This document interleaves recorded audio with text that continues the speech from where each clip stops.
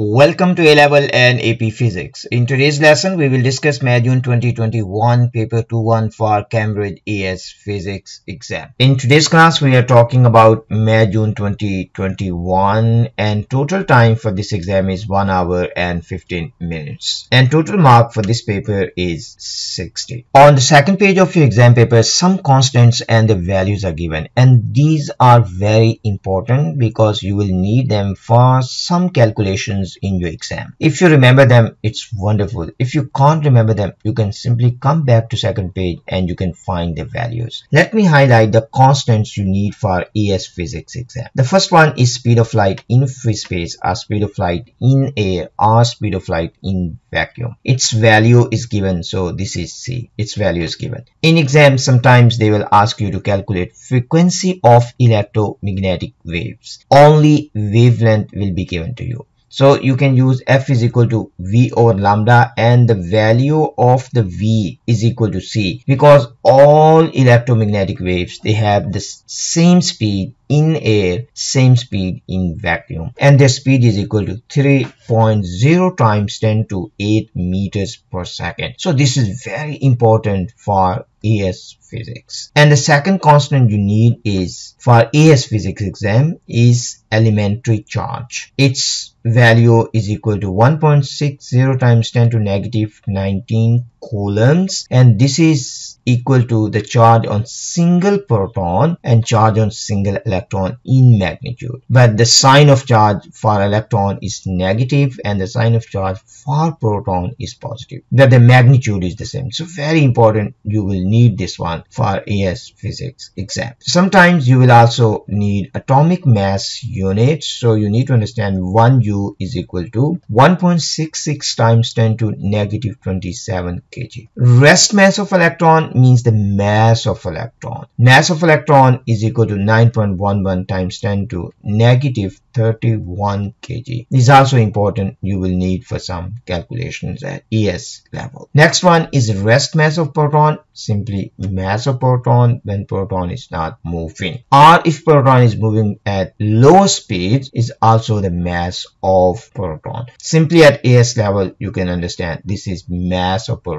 because we are not talking about relativity. So this is simply mass of proton. It is also important to remember acceleration of free fall. In your calculations g you have to use 9.81 not 10 meters per second per second. So very important. So these constants you need for your as physics. So these are total six it's better to remember them if you can't remember them simply come back to second page and you can find the values here on the next page, some important formulae are given. Let me highlight the formulae you need for AS physics. The first one is for uniform acceleration and this one you can only use when the acceleration of the object or body is uniform. Uniform simply means that if the acceleration is constant then you can use these formulae. The next one you need for AS physics is work done on gas or work done by gas and this is W is equal to P times delta V. In this case, P is constant and delta V is the change in volume. If P is constant, then you can use this one. The next one you need for AS physics is hydrostatic pressure and P is equal to rho GH. Rho is the density of the fluid. The next one you need for AS physics will be Doppler effect. And this is when the source is moving and observer is at rest. This is observed frequency and this is the frequency of the source and V is the speed of means speed of sound in air. This V is also speed of sound in air and Vs this is the speed of source. You also need to understand when to use positive sign. Positive sign you will use when the source is moving away. So let me write down here when to use positive sign moving away. If the source is moving away you will use positive sign. If the source is approaching then you have to use negative sign. When the source is approaching observer you have to use negative sign. So this is how you need to use this form. Next one is about electric current and this is very important one because most of the time in exam they will ask you about how to use this one to calculate different variables. I here is equal to A and A is the cross-sectional area N is the number density of free electrons or number of free electrons per unit volume. V is the drift velocity of free electrons and Q is the charge on single electron or simply you can say Q is the charge on single charge carriers and the value of Q this is equal to elementary charge and that is simply equal to 1.6 times 10 to negative 19 coulombs. So you can see in this case Q is constant. N is constant if the material is the same. So n depends on material. So very important one. If the material means the wire is made of the same material n will be the same. So very important point. Next one is about resistors in series. Very basic formula. Simply you need to add resistance of all the resistors if they are connected in series. Then the last one is about resistors in parallel. If the resistors are connected in parallel this is how you can calculate calculate the resultant means the total resistance of resistors in parallel. That if all the resistors they are identical resistor means identical they are the same resistors then you can use one simple trick. For example, if there are 10 resistors, they are connected in parallel and they are identical resistors, then the total resistance simply is equal to the resistance of one resistor divided by the number of resistors. If resistors, they are identical and they are connected in parallel. So this is very important to understand this formula. And the rest of the formula you need to remember for your exam. For question number one, part A, we need to define density. Very simple question. Density simply you can define mass per unit volume. If you write down mass per unit volume, you will get one mark. And the mark for that one is B mark. Simply you need to write down mass per unit volume. So if you write down this much, you will get one mark. And that mark for this question is B mark, means it has to be in your answer. For part B1, we need to calculate the absolute uncertainty in X. But in the question, it is given to us the percentage uncertainty in X is given, that is plus minus 5%. So in order to calculate absolute uncertainty in X, simply we can write down in fractional form delta X by X. So this percentage uncertainty we can also convert into fraction. Means simply you need to divide 5 by 100 now you need to find out delta x. So simply we can say delta x this is equal to 5 by 100 times x. Value of x is given that is equal to 4 centimeters. So simply we need to multiply 4 with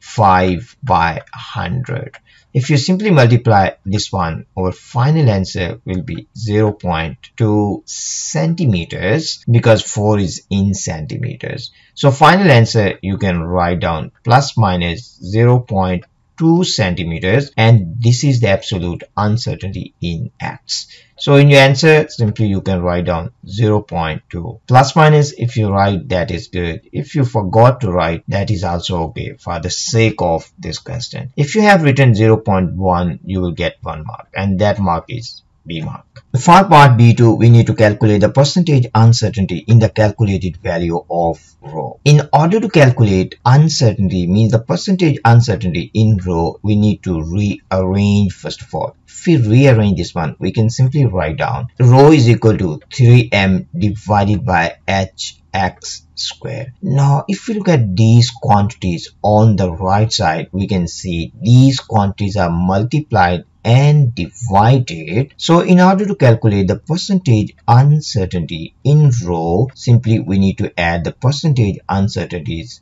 in the quantities on the right side. 3 is a number so it has no uncertainty. So simply what we need to do is we need to add the percentage uncertainty in m plus the percentage uncertainty in h plus the percentage uncertainty in x. Percentage uncertainty in x. But x has exponent, it has power, so we need to multiply this one by its power and that's all what we need to do if you look at percentage uncertainty as it is given in this table is equal to 2% so this is 2% percentage uncertainty in h is given that is 4%. And percentage uncertainty in X, this is 5%, we need to multiply this one by 2. So the total percentage uncertainty in rho that will be equal to 16. So that will be equal to 16% plus minus.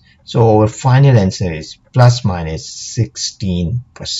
This question has two marks and the first mark will be awarded if you have written these percentages and you have added them. And that mark is C mark means this is for your working if you have done the right working. And the second mark is answer mark. You will get the second mark if you have got the right answer but if you have got the right answer but you haven't written these steps still you will get full marks. For part C, we need to use data from table 1.1 and this is table 1.1. We need to calculate average pressure of the pyramid on the surface of the bench. Uncertainty is not required in our answer as it is given here. First thing we need to understand how to calculate pressure. Pressure is simply equal to force over area in contact. Force in this case is equal to the weight of the pyramid and that is the force exerted by pyramid on the bench. Simply we can write down force is equal to mg and A is the area in contact. Mass of pyramid is given in this table that is equal to 19.5 grams. We need to convert into SI units means we need to convert into kilograms. Value of G at AS level you need to use is 9.81. Area in contact. So this is the area in contact with table and that area is equal to x by x. That value of x is given that is 4 centimeters. So simply we can write down 4 times 10 to negative 2 multiply by 4 times 10 to negative 2 now if we solve this one our final answer will be 120 Pascal and that's the final answer so our final answer is 120 Pascal. For this question, let me explain to you how marks will be awarded. The first mark is for writing this formula. If you have written this right equation, you will get one mark. And the second mark is for substituting these values, you will get the second mark and that is also C mark. And the last mark is answer mark. If you have got the right answer, you will get this mark. But if you have got right answer, you haven't written these steps, but still you will be compensated. You will get full three marks for this part. But if you got wrong answer and you have written these steps, means you have done the first step and the second step, you will still get two marks, even your answer is wrong.